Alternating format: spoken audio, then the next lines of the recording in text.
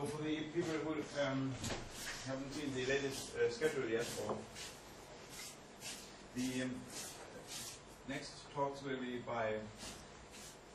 First of all, there is a talk at uh, MISU today at 13 o'clock by Larry Dickens about um, marine hy gas hydrates. Uh, and then Milena will talk here at 3 o'clock. And then we have on Wednesday, nothing in the morning, but we have uh, Jenny talking at 14.30. And then we have uh, Niels speaking, yes, uh, on, Wed on Thursday then at 10.30. And Michael Gill on Friday at 10.30. That's the plan and it should be on the on the web, of course, in due course. So it's a pleasure to welcome Jouni Räisänen today. Uh, he did his PhD in 98 at the University of Helsinki. Um, has then been here at uh, Norrköping at the Rossby Center for five years and then became associate professor at the University of Helsinki. He has been mostly working on analytical um, models and uh, inter-model inter, time comparisons. So it's a pleasure to hear him today speaking about uncertainties in projections of climate change. Okay, so, so th thank you for this introduction and thanks for this opportunity to give this talk here. So, so the uh, title is Uncertainties in Projections of Climate Change and as this first slides indicate, this is actually a recycled talk. I basically gave the same presentation in a climate impact related workshop in Norrköping in October last year. But hopefully the, the audience here is today is completely different. So this, this should not matter. So, why cannot we predict future climate exactly? Well, there are at least three different group of, group of uncertainties first one is associated with the inability to predict, uh, the future behavior of mankind on those aspects that are relevant for future climate, particularly in emissions of greenhouse gases and aerosols, but of course also other factors like changes in land, land use and so on. Then we have uncertainty in modeling of the resulting anthropogenic climate change. First of all, uncertainty in converting the emissions of greenhouse gases and aerosols to atmospheric concentrations that are actually relevant for, the radiative forcing to which the climate reacts. And then, of course, the uncertainty in the physical climate system, how it responds to these changes in atmospheric composition. And third, we have natural climate variability, which is partly forced by variations in solar activity and volcanic activity, but also a lot of internal variability generated by the nonlinear dynamics of the climate system, even when all these external forcing are, are constant. So, how important are these different sources of uncertainty? One of the factors that this depends on is, of course, the time range of the projections. This semantic diagram, the left-hand side shows the evolution of some climate indicator, for example, temperature at some location up to the present, and the right-hand side shows the possible evolution during the rest of the century. So, in the beginning, the uncertainty is basically dominated by natural variability, but when you go further to the future, the uncertainty is associated with modeling and emission scenarios both increase.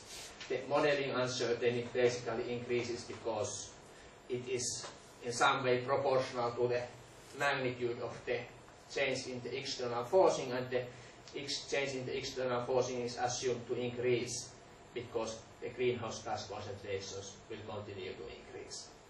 Scenario uncertainty seems to be small in the short run.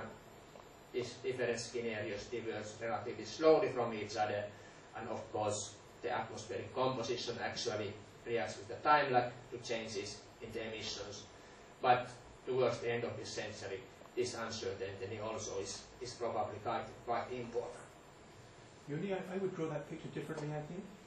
The, um, I mean, if we look at the, the difference between the, the measured components of climate and model output at this stage, there are at least three contributions to that difference. There is the natural variability of the, of the system, there is the internal variability of the climate model, which is not the same thing, and there is the errors, structural uncertainties in the model itself.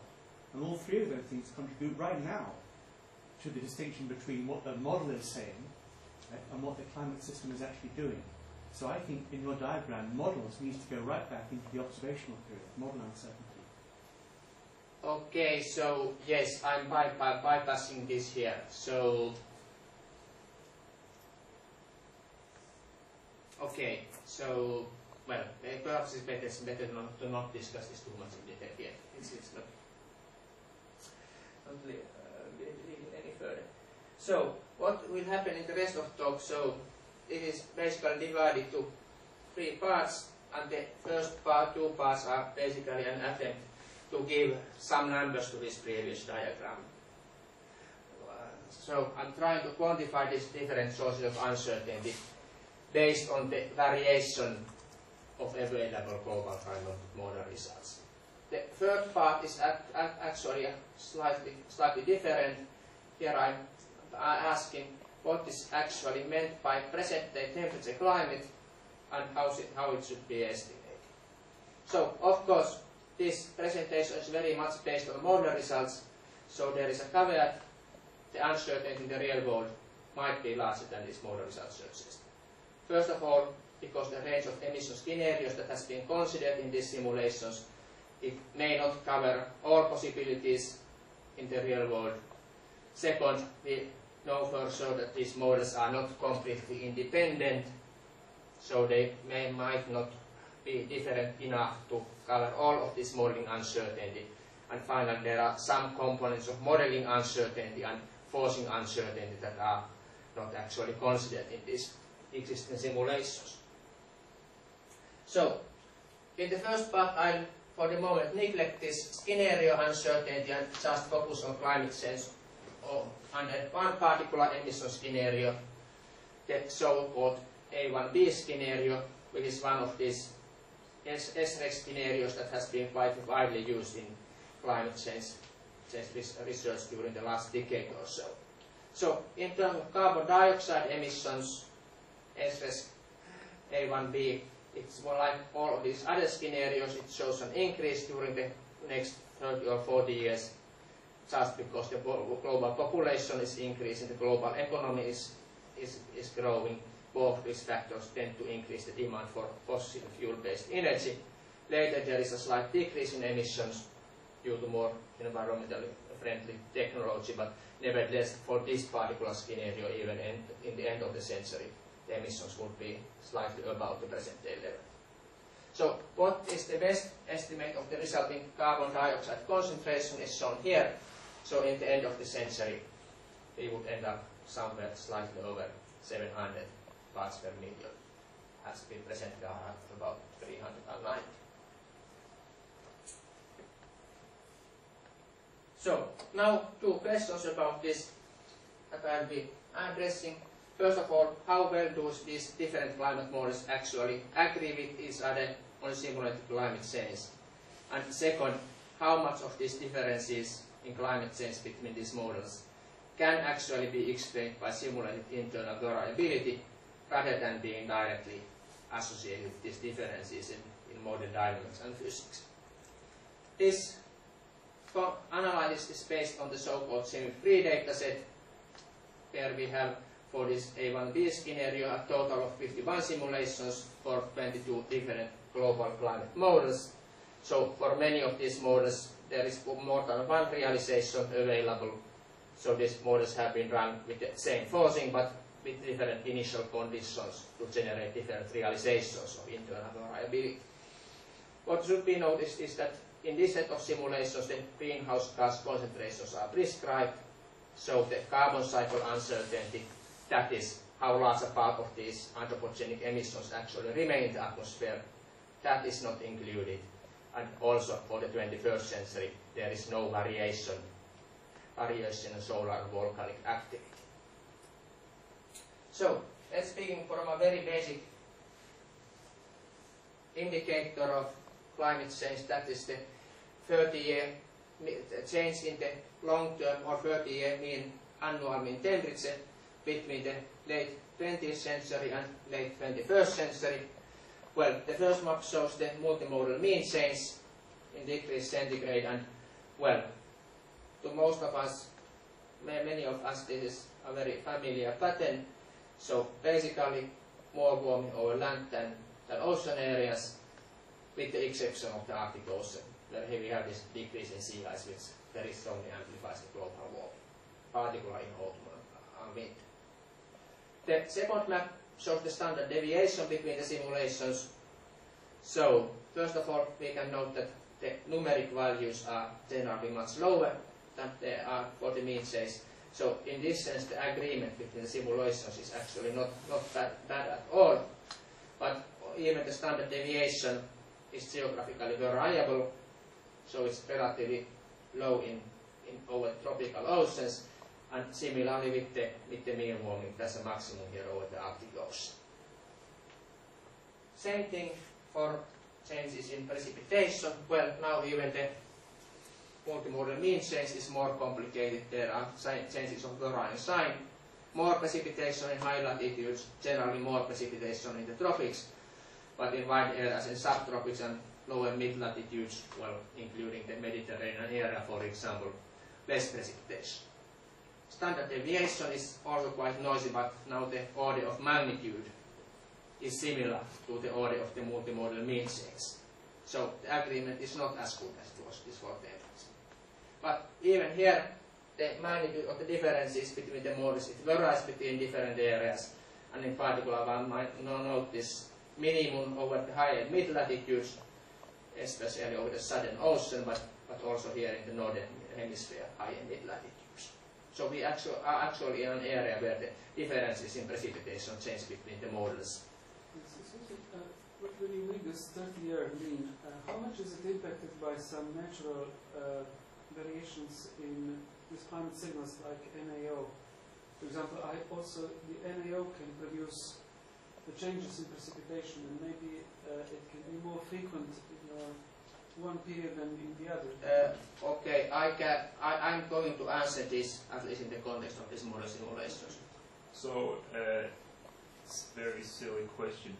Is it typically below zero up north?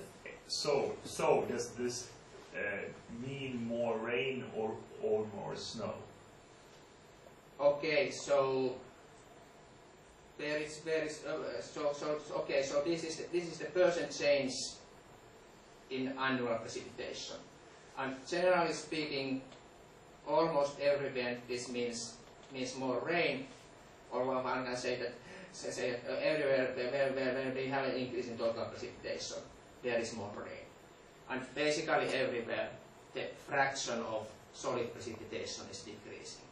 So the amount of snowfall well, it might increase But in some, typically somewhere, some very cold areas in high latitudes. But for example, if we consider North, Northern Europe, it's very good. But the question is, uh, the, there, there is a great increase in the uh, up north. It's Yes. very much north. Does that mean that it's going to be more snow up north? That's the question. I we have a think, well, so probably when you go to the Arctic Ocean and Northern Siberia and places like this, the, there will, will be slightly more snow, snow also.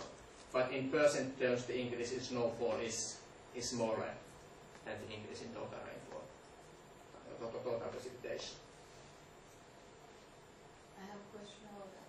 Is not that impossible to answer? If it's going to be rain or snow? We're just going to know if it is rain because the morning, as we have the, the rainfall, right? So we cannot say anything about snow because if they don't have the variable there. Well, there is, there is, the, there is data about snowfall fro- from the simulation. Ah. simulation available. So, so basically what is, where this difference come from is of course this this increase in temperatures which converts some from the previous rain, rainfall to snowfall. Okay, so one way of putting these two variables on the same scale is just to measure the relative agreement with the ratio between the mean and the standard deviation, and one, one as one would expect.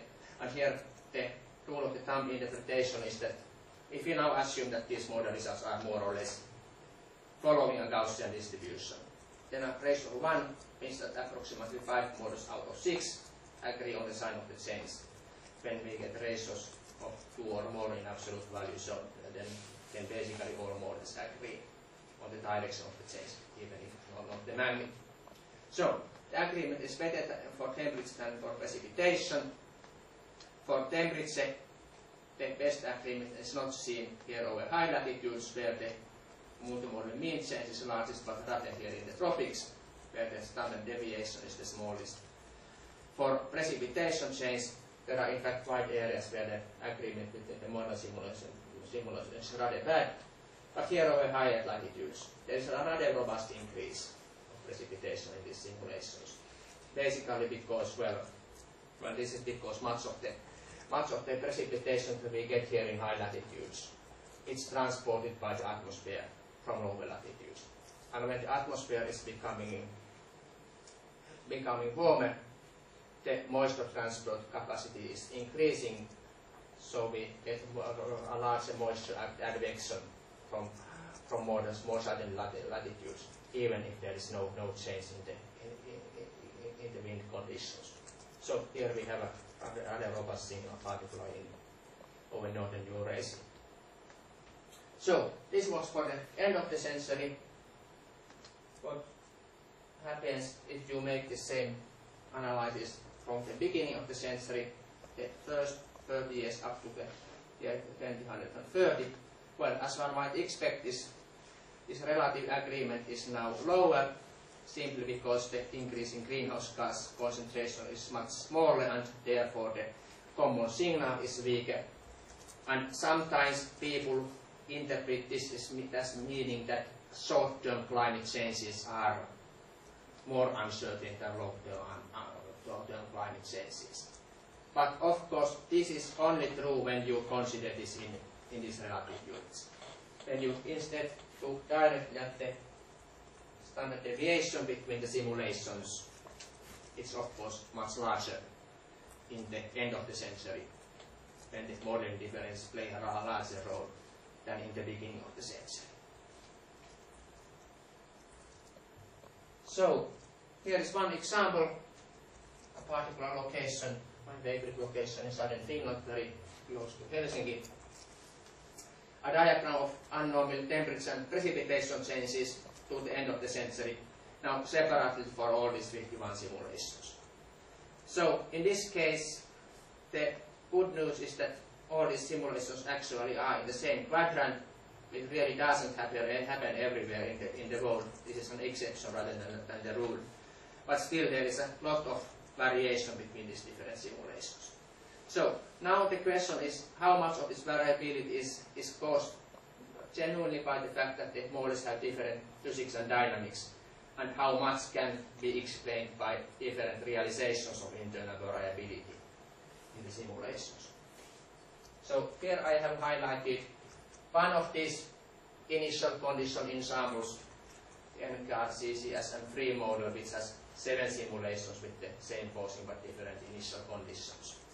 So, there are some differences, particularly in precipitation change, but still, these differences are not large enough to span this, this whole variability within this 22 model or 51 simulation ensemble. So the implication is that in, internal variability is not at all sufficient to explain all differences in simulated climate change at that time. And in the following I'll be making this more quantitative, so using systematically all these initial condition ensembles that are available within the CMIP3 data set, I estimate the variance explained by internal variability in these models. And uh, having this estimate available, one can then estimate the truly model uh, related variance as a residual by subtracting from this total variance, which is affected by both model differences and internal variability, the estimated contribution of internal variability. Of course, in practice, there is always, always some something uncertain when making this kind of calculations. So what we get, first of all, for temperature changes in the late 21st century, so here is the actual standard deviation between the model simulations, which includes these both co- contributions, model differences and internal variability. And here is the estimate of what can be explained by internal variability alone. So there is in fact some similarity in the patterns, particularly one can this fairly, uh, uh, relatively large internal variability here in high latitudes, but still the numeric values are very different. And actually these maps are understating this difference. What is really relevant are not the standard deviations, but the difference in variance. And globally average the variance of the actual variance of simulations is about 20 times larger than the contribution of internal variability. Which clearly in, in, implicates that a large majority of this, this variance here must be caused truly by model differences. That- That's what we'd expect really, isn't it? Because uh, 30-year averaging period is a pretty good period for temperature Yes, smoothing. yes. Yeah. That's what what we might expect. Okay, same thing for precipitation changes, again to the end of the century. Well, again, clearly internal variability is too small to explain all of these differences, but nevertheless this difference is not, not quite as large as it was for the temperature. So again, in terms of the variances, about 20% of total differences can be explained by internal variability, which by implication leaves about something like 80% to model differences. So, this is the end of the 21st century. What happens earlier? Temperature, first 30 years of the century. Now, now the basic difference is that the actual variance between the model simulations is much smaller. Numeric values here is 0.10 degrees squared. Here I had 0.70, so it's only one part of, out of seven. By contrast, this variance caused by internal variability, well, some people might imagine that it, it, must increase with time, but it doesn't happen in these CMIP3 simulations. Here we have 0.35. Here 0.038, so it's, it's basically the same. So in this case, about 40% of the variance can be explained by internal variability, the rest, rest is due to model differences. And of course, when we take precipitation changes in the beginning of the century, the internal variability becomes even more important. So nowadays, these maps are quite similar in many areas and globally average about 70% of these differences already seem to be explained by internal variability. So model differences are not yet very important in this case. So here is a summary of this kind of a calculation. So now I have here three different 30-year periods in different parts of the century in addition a single decade, 2011-2020, and in addition to annual mean changes that were shown in these maps, seasonal and monthly mean climate changes. So there is quite a clear logic in these numbers. The numbers increase toward, towards the near-term future simply because at that time the total variance is smaller, the model-related uh, differences are smaller, and they also increase when you reduce the averaging period. So there is a smaller sample of the inter internal variability and it's not averaged out as, as efficiently. So it's larger for a single decade than a 30-year period centered at the same time, and it's larger for seasonal means of climate change and monthly means of climate change than, than for annual means. So generally, for temperature, its internal variability and model differences are comparable for the next 30 years, but then thereafter model differences dominate. For precipitation, they are still comparable in the middle of this century and before that internal variability dominates. So, of course, these are globally average numbers. If we look specifically at Northern Europe, this is what happens. Now, of course, one thing that ha- happens is that the sampling uncertainty in this calculation becomes larger, but nevertheless there seems to be a systematic difference in the sense that in this particular area, internal variability is relatively more important. So for temperatures, still clearly dominates during the first 30 years, and for precipitation change, it actually dominates even in the middle of this century. So why does this happen? The explanation seems to be slightly different between temperature and precipitation. And we come back to these maps of internal variability. So for temperature, the explanation is just, just the fact that this internal variability in the models and, and most probably also in the reality increases very strongly from low to high latitudes. So the internal variability is much, much above the average in Northern Europe. But when you look at precipitation, it's different. In fact, even in terms of internal variability, the variability in Northern Europe is relatively small. So now the explanation lies in the fact that the actual differences in precipitation change in, in Northern Europe.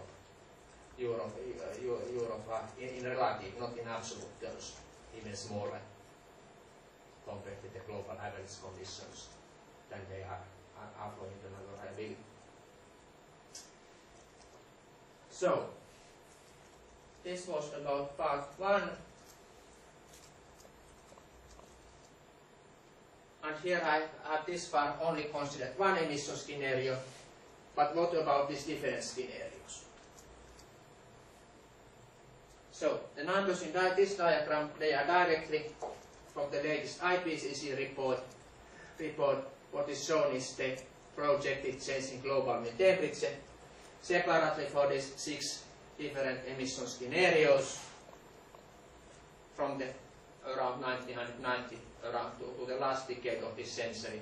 So for the lowest scenario from 1.1 to 2.9 degrees, for the highest scenario from 2.4 to 6.4 degrees, taking into account both the climate modeling uncertainty and the carbon cycle uncertainty that was actually not present in, in, in my previous comparison. So there is slightly more, more, more than a factor of two difference between this lowest and highest scenario among this, among this uh, set of scenarios. So now what is more difficult is to make uh, this analysis on frictional scales simply because not all of these scenarios have been simulated with, with these three-dimensional global climate models. So for example, this CMIP3 dataset, it only includes simulations for B1, A1B and A2 scenarios, and even for this subset of scenarios, they are not all available for all models. So there's a su- subset of 15 models for which, which all of them, are available. So, in any case, we can compare these scenarios with each other. So here I'm comparing the 50 model mean warming to the end of the century between A2 and A1B and between B1 and A1B. And of course, in a qualitative sense, the results are just as expected. A2 scenario has higher greenhouse gas emissions, higher greenhouse gas concentrations, and therefore larger warming in the end of the century. B1 scenario has lower greenhouse gas emissions, lower greenhouse gas concentrations, and therefore smaller warming in the end of the century. And particularly for the B1 scenario, these differences are not negligible. Actually, here over, over the Arctic Ocean, the largest differences are of the order two, of two, two degrees centigrade. But nevertheless, one needs to relate the magnitude of these differences with the differences that one, that one actually gets when comparing simulations made with different models but, but under the same emission scenario. You can see from that picture why pattern scaling is considered to be a very good approximation, can't you? Because Yes. basically it's the same picture. Yes. Different colours. Yes, yes. Yeah. so there are people who always insist that you have to be, have to make these simulations for all different scenarios, but Mm. of course it's a waste of resources. Mm. Okay, so to the answer to this question is, of course, logically obtained by normalizing these interscenario differences by these intermodel differences for A1B scenario. So, now of course it depends on where you are. These ratios tend to be higher here in low latitudes, where the differences between model simulations on the same scenario are, are smaller. But nevertheless, the general picture for this period in the end of this century is that these ratios vary on both sides of plus 1, plus 1 and minus 1. So one can probably say that in the late 21st century, these differences between scenarios and differences between climate models are more or less as important. So in the following, I'll take this B1 scenario because it's further away from my A1B comparison and look at the first previous 30 year periods in the beginning of the century and in the middle of the century. Well, in the middle of the century, this difference is already beginning to become significant, particularly here over lower latitudes where the ratio actually is, is lower than minus, minus 1. But for the next uh, 30 years or the, for the, the still, still these differences between the scenarios are, are basically negligible. So it's less, ratio is less than one, uh, than, than one half in, in most parts of the world.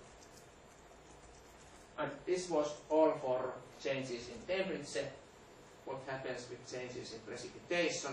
Well, for precipitation changes, the relative agreement between the model simulations was lower, and therefore the relative importance of the scenario differences when compared with the intermodel differences is smaller. So even in the late of the late, late 21st century, in most parts of the world, these intermodel differences actually dominate over the differences between the emission scenarios for precipitation change. Well, there are some exceptions like I'd say Northern Eurasia where actually the increase in precipitation is so robust and scales with the magnitude of the forcing that there is some, some significant difference between this, this, this B1 and A1B scenarios, but, but still, still this is mostly, mostly not the case. So again, if we take a local illustration, this is for the same grid box, three 30 periods, temperature changes and precipitation changes. B1 scenario, I with blue dots, A1, B1 with black dots, A2 with red dots. First 30 years, basically no separation between the scenarios. Next 30 years, some slight separation, particularly for the B1 scenario, the changes tend to be slightly smaller than they are for the A1, B and A2 scenarios, and a much more clear separation during the end, in the end of the century. So smallest changes for B1, largest changes for A, A2, but nevertheless the differences between the models are also growing larger. So there is still a large deal of overlap between these different scenarios, at least here in Northern Europe. In some areas in the tropics where the difference between the models are smaller, this separation, at least in temperature change, would become, become more clear. So, as one might expect this uncertainty due to emission scenario differences, it increases quite strongly with time and now depending on what you consider, the variable geographic area, scale and so on, it may or may not become more important than these differences between climate models by the end of this century. The uncertainty seems to be small in the short run. This is of course pretty much dictated by the fact that these scenarios, even in terms of the emissions, diverge relatively slowly from each other. But in principle, there is a caveat in this conclusion. None of these scenarios includes any really rapid changes in the emissions. And for example, if, uh, if there would be rapid changes in the emissions of some, some aerosol species, black carbon or, or, or some, something else due to environmental reasons. This might affect the climate more rapidly than these scenarios are actually able to describe. So this is not necessarily a, final, final conclusion. So then we come to the part three, which is slightly different. Here I'll be asking what is meant with present climate. And with present, I mean now around the year 2011, not for example 1971, 2000 or 1961, 1990 or any other, other so-called normal period that is typically used for describing the observed climate. Climate, on the other hand, is usually taken to mean the statistics of weather over a long enough period, and long enough means at least 30 years.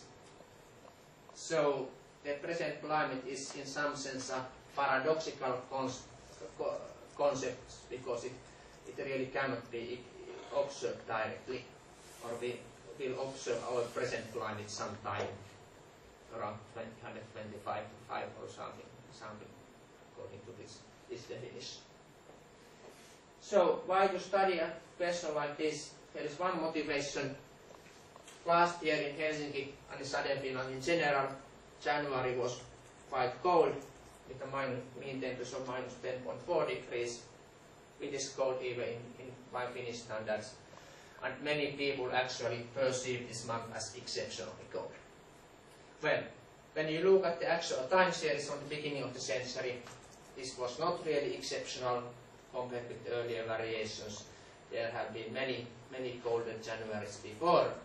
But nevertheless, when we have this global warming going on, there is the question if, if these past observations are rep representative of the variations that we can expect today, or if the global climate change is already having some, some impact on the probability of these cold or, or, or mild, mild winters.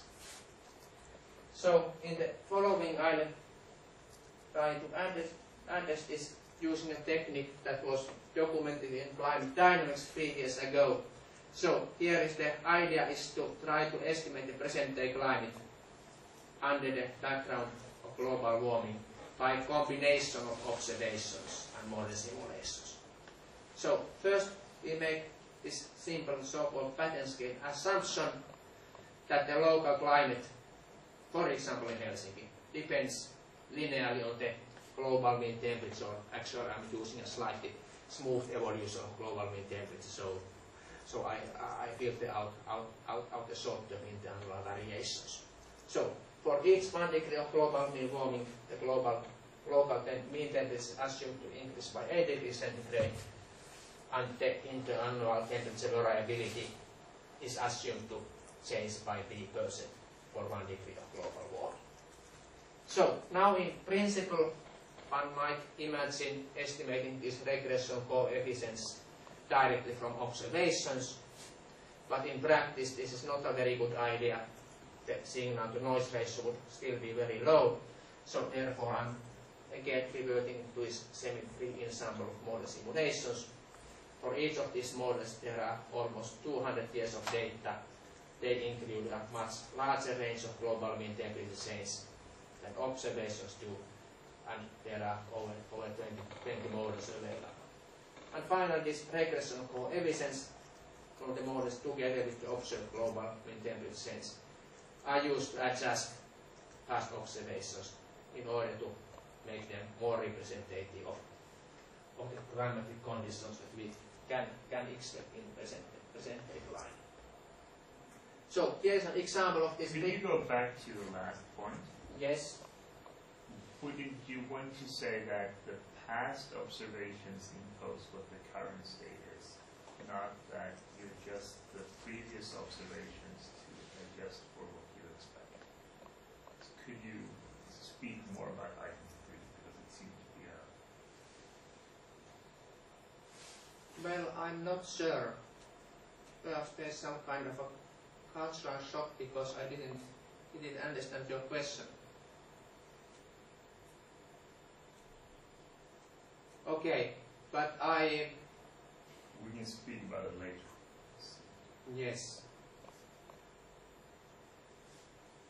So what kind of, um, you could talk about what kind of regression model you fitted here on the CMIP three so okay, so what I have fitted here, okay, so there are some, some, some, some dirty equations, but okay, I'm doing this for, I'm doing this for each model individually. Uh, indi- individually, well, the predictor is basically, I think it was something like simply the 11 year running year of the global mean temperature or something. Mhm. And I first make a regression between the local mean temperature uh, lo- local mean temperature and, this, the, the, the, and the global mean temperature. And after this, I, have this regression line. I do another, regression for the differences or the residuals between this mean temperature curve and, and, and the actually, actually simulated temperatures. Or, or, or, or, or proba- probably, I, I measured the, measured the variation by the absolute value of these residuals Mhm. and then this absolute value of the residuals is regress, again regressed against the global mean temperature. Mhm. So that's your attempt to correct for what correlation in the residual structure for the time series regression. Because the internal variability of the models will have a strong AR, strong red noise characteristic, which will mean that regression coefficients would be unbiased but not minimum variance. Well, I'm again I'm not quite sure. So in principle, if there is so yes, yeah, yeah, yes. So so in principle, if the residuals have, have this red noise, no noise character, char- char- character, I, I, I, I don't- care about it. So it may, may affect this calculation, but I, I don't, uh, also don't directly see how, how this should bias, bias this, the estimation in this case. Right, so that would be a, what we call, that would be a statistical bias. It would be the fact that the estimate does not have an expectation under rep- replication which was equal to the coefficient which we're trying to estimate. Okay, that's all always possible, that's the best. Best, best uh, I could do- do. Okay, so that was, is what we get for this coefficients, January mean temperature, average over all these 22 models. Mean temperature is for one degree of global warming. We have particularly in winter this maximum in high latitudes, so just if you pick up the location of Helsinki here, we have a value of slightly over 2 degrees centigrade per 1 degree of global warming. And then we have a decrease in internal variability, generally in high latitudes. It's not very large, on the average by about 6% by, uh, per 1 degree of global warming. And, and, and unlike with this, this mean warming, which is of course at least of the same sign in the different models, this change in the variability actually is inconsistent in sign between different simulations. But what turns out in practice is that, or the results that we get here, this mean change is much more important than the change in variability. So this uncertainty is not as serious as it might, might seem. So this this, this, this illustrates this idea of correcting or adjusting this past observation, so to, so take away the effects of, of this global mean temperature change. The blue line is the January temperatures that we actually have observed, and the red line is the, so to say, the best estimate of the temperatures that would have been observed if the weather conditions otherwise had been similar, but the global mean temperature had always been on the level where it's now. So here in the end of the time series, the two lines run on the top of each other. Here in the beginning, the global mean temperature was still something like 0.8 degrees below the present day level. So there is a, like, a adjustment to these observed temperatures. So Now, when we have these two time series available, then one can treat them basically in the same way. So, for example, using some suitable form of smoothing, one can try to estimate continuous probability distributions, and here is what we get. The blue line is from observations, 1901 to 2005 this, in this case, and the red line is the best estimate from the present day, January temperature line. So we have this shift towards higher temperatures as a result of, of making this adjustment. So how one, does one in, interpret, interpret this kind of diagrams when, when one needs to calculate probabilities? Well, it's a simple matter of calculating areas. How frequently one would, should one expect minus 10.4 degrees or lower just take the area to the left of this line. For the observed distribution, about 7 or 8 percent implies a return period of about 13 years for the estimated present day distribution of the order of 5 percent or once in 20 years. So there is an effect from the global climate change, but it still is not very large compared with this large internal variability. So even for the present day climatic conditions, the last January was not really exceptional. So January was cold, but it was not the only interesting month last year. July was warm, so this massive heat wave that there was in northwestern Russia, it also affected southern and eastern Finland. In Helsinki, we had the all-time record, 21.7 degrees in the July mean temperature.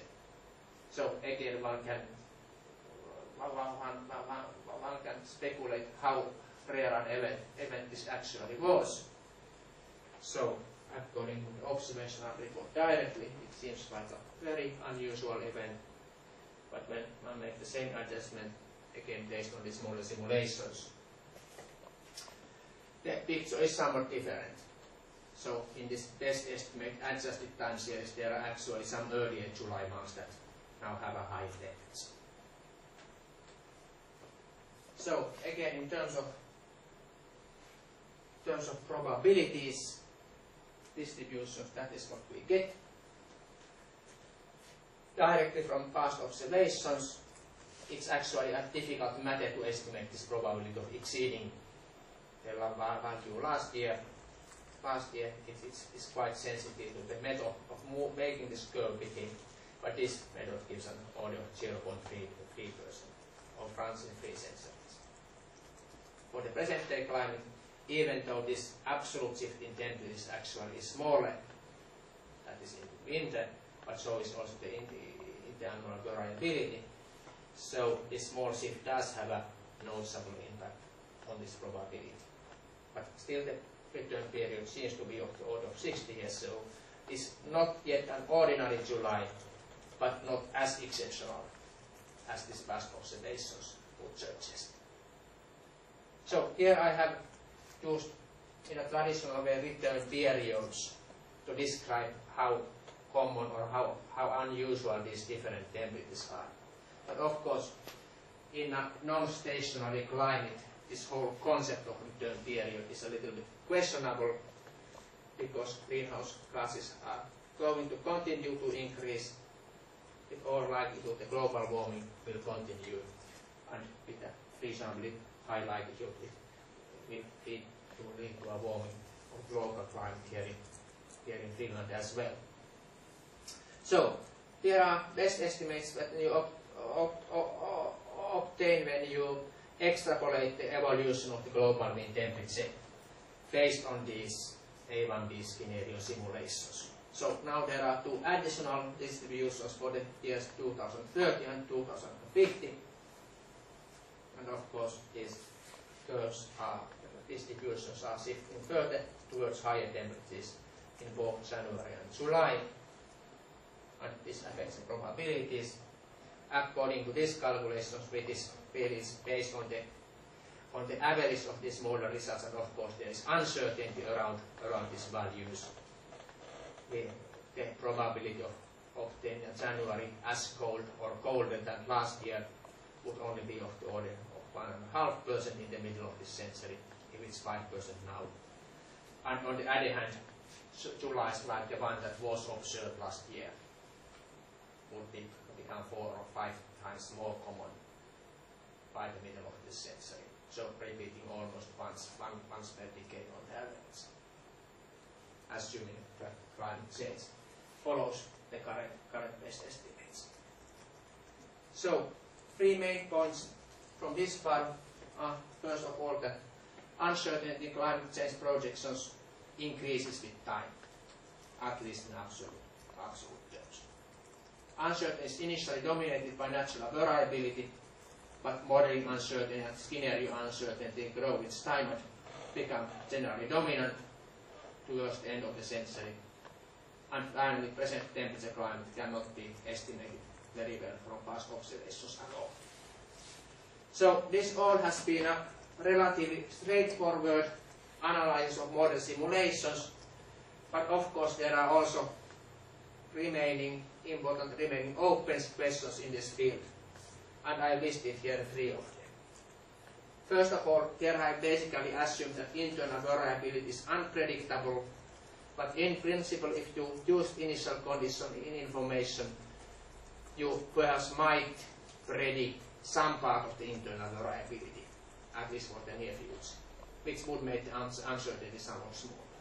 But is this actually practically the case? Second, can uncertainty be, eh, here, here I assume that all these models give equally plausible results, results, but one can also ask, could this uncertainty be reduced by eliminating or downweighting models that seem to be behaving badly in the simulation of observed? And finally, we have this question, how well do these presently available ensembles cover the real modeling uncertainty? So, as I said, these are open questions, but I nevertheless give my own questions. So, can uncertainty be reduced by predicting internal variability? Well, to some extent the answer is probably yes, at least potentially so. There are several studies in literature that show that some large-scale aspects of the climate and, for example, the Atlantic Ocean circulation should be predictable for a limited period of time forward, uh, of the order of decade or so. However, even of the, if this large-scale aspect of are predictable, and even if the ocean circulation is predictable, we still have the problem that these aspects do not directly matter very much for ordinary people.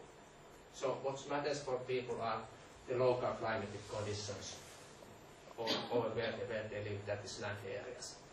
And all these model simulations, or or all these studies that I have seen in practice seem to suggest that even the potential predictability of this interdecadal variability over land areas in practice, in practice quite modest. So I, I wouldn't be very optimistic about reducing the uncertainty by using initial condition information. Second, can uncertainty be reduced by eliminating or downweighting models that seem to behave badly? Then again, in specific cases, the answer is yes.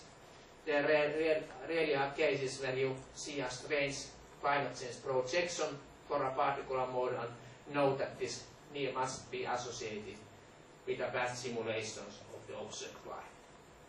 This is perhaps the best example that I can find. This is from the semi-free dataset, one particular Chinese model. The first map shows the winter mean temperature as simulated in the end of the 20th century. The second map shows the change in winter mean temperature to the end of the 21st century. So we get a huge warming of the, uh, up to order of 14 degrees here over the mid-latitude northern Atlantic. But when you look more closely, this warming is of course happening because the ice cover which this model is simulating here is happens to have an ice age basically basically over, this, is, this part of the bond when the ice, ice cover is melting. And of course this is totally unrealistic and won't happen. happen in the real world. But what Te- Technically, you the idea of using anomalies is meant to correct for this. It's a joke, of course. It doesn't correct for it at all. But you know, all the CMIP results are done in terms of anomalies, and the idea is that the anomalies are linear all the way through. yes, Changes of phase, which is crazy. You know. So Yes, this yes. is a good example of that. this is a good example of that. But unfortunately, this is a this is a rather rare example mm-hmm. in the sense that in, it's very, very actually it's very difficult to generalize this.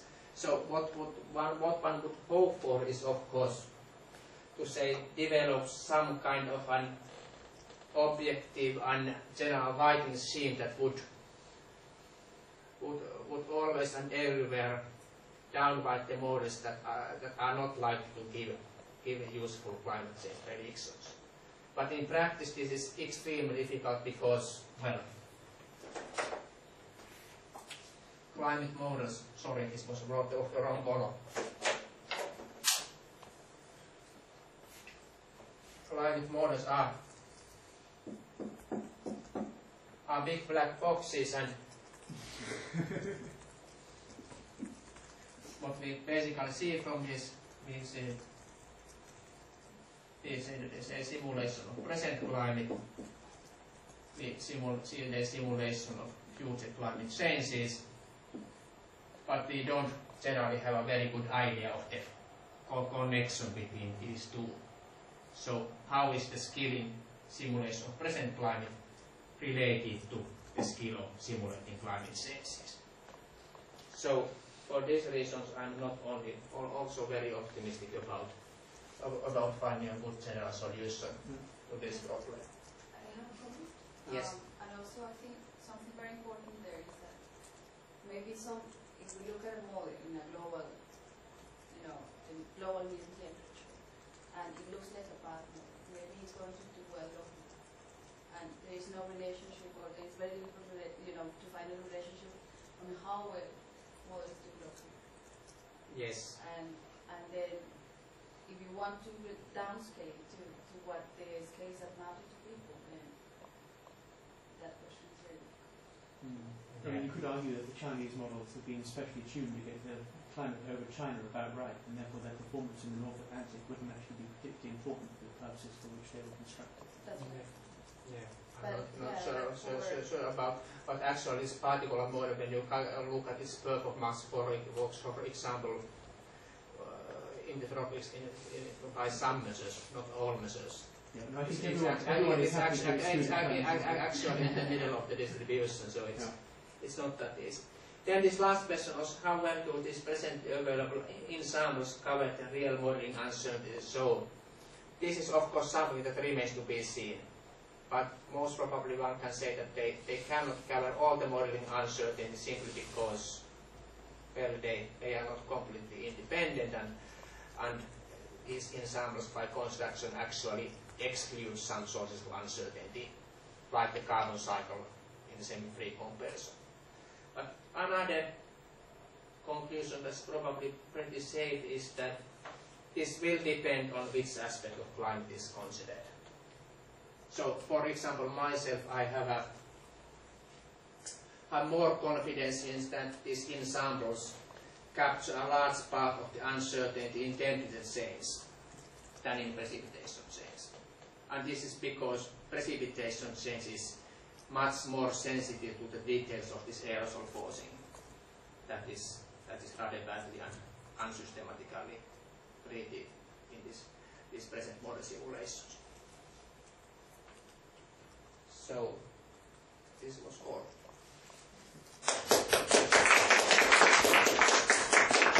Thank you. Questions, please. So can you go back one slide, Jouni, to your point B? This, this issue of can uncertainty be reduced, we have to be careful here. Of course, we, we haven't quantified uncertainty at all in any effective manner, so to talk about reducing it before we've actually quantified it is a bit, um, is a bit ambitious. I would actually take the opposite line to you. If you look at the CMIP3 ensemble, there are many duplicates, effectively. I mean, large groups like NCAR and the Met Office have submitted multiple versions of effectively the same model. Um, or a model which shared large chunks of code. So treating the models as though they're all equally informative in the sense that you can actually take an, uh, an ensemble mean or an ensemble variance actually actually reduces uncertainty artificially because it counts two models that are effectively the same, as though they were in fact different.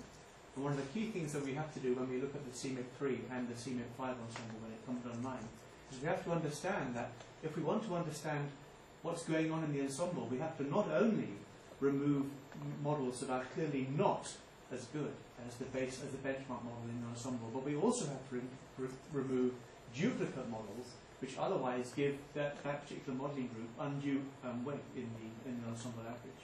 Yeah. And the key concept here is to understand that what's underlying the idea that we can treat the ensemble in some kind of aggregate fashion is the notion that the ensemble members are, are exchangeable with each other. That's the mathematical or statistical term.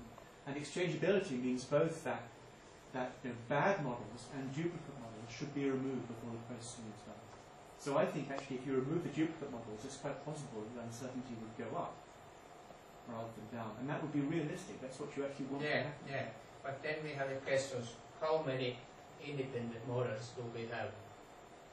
So that, and that's a question that we can't answer. It's, Yes, that's, a, that, that's a question, question we can, can, can answer.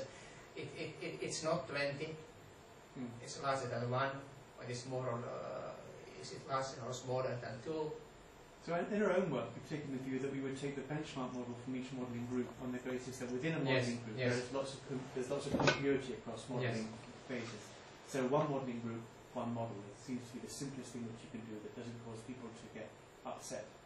And then you set yourself a benchmark model in terms of resolution Yeah, and resolve yeah. processes. Yes, yeah, yeah, yeah, but even uh, between these benchmark mo- models, there are in practice, in practice, uh, practice uh, shared components between Oh yeah, I mean, the, the, the, the Nemo Ocean is used in about half of all the models. Yeah, Yeah, and the and the CICE CICE model is used in about half of the models, yes. and the Oasis coupler is used in 95% of the models. There's no doubt.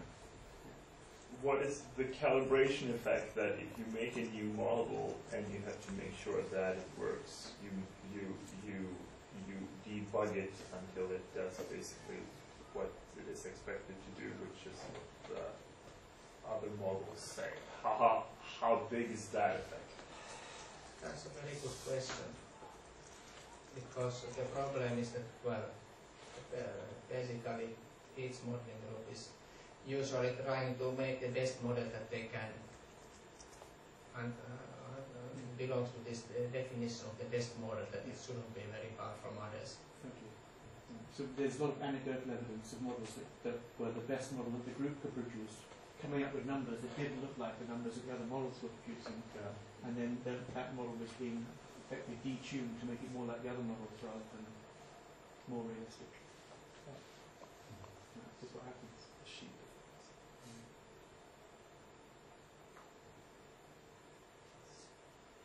I have one question. I, I don't understand exactly. Uh, for example, do you have this uh, minimum maximum temperature? This corresponds to certain, uh, rather than some mean increase or, or decrease of temperature uh, on the global scale or European scale, it depends on the weather situation in a certain month.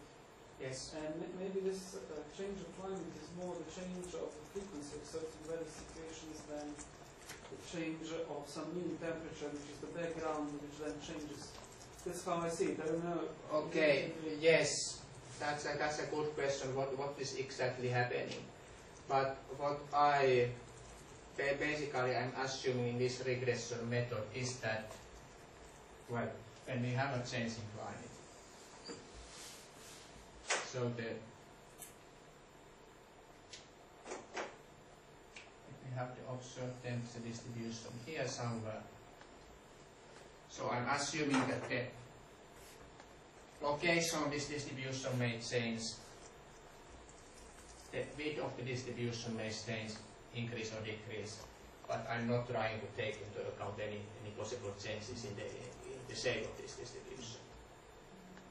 Basically, so my, my general experience of these model simulations is that you really cannot go beyond, beyond the second moment, and even the second moment is sometimes a bit questionable.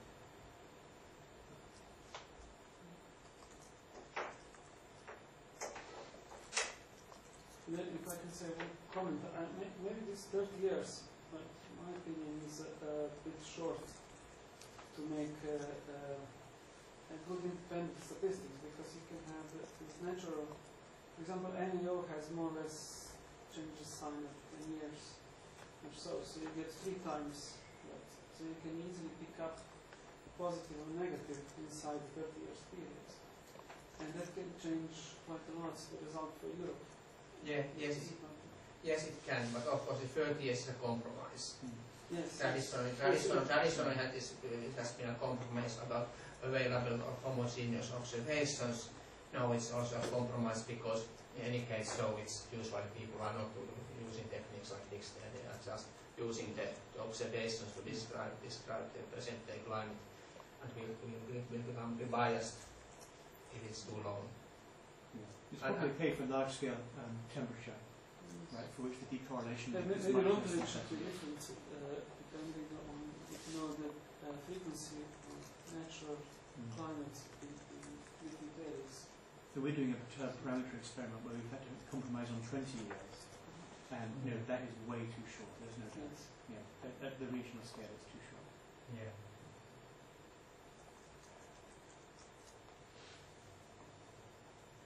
But what can you do?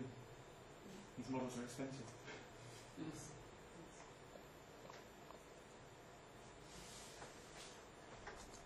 Any other questions? Okay. Gets into the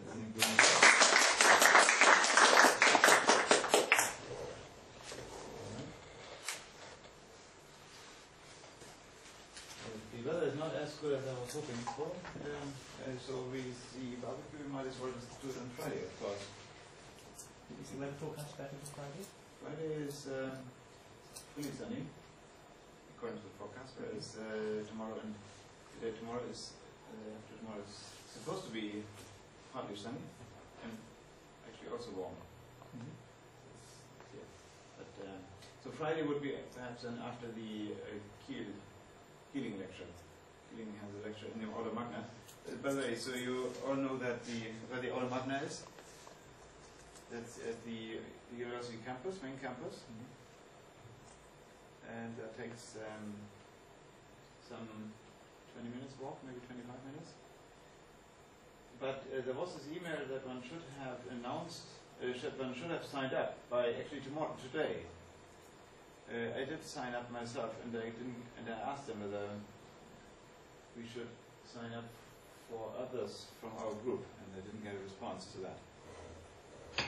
So I'm not sure. I mean, the, the auditorium is fairly big, of course. It's kind of more than a thousand people, maybe two thousand actually. So it's a fairly big room, but Uh, is there not any link where you can go and there is a link. Um, so if you, yes, there is a link which I can email you. I have it on some. You uh, do that? Right. Then I'll do that. And uh, you have any,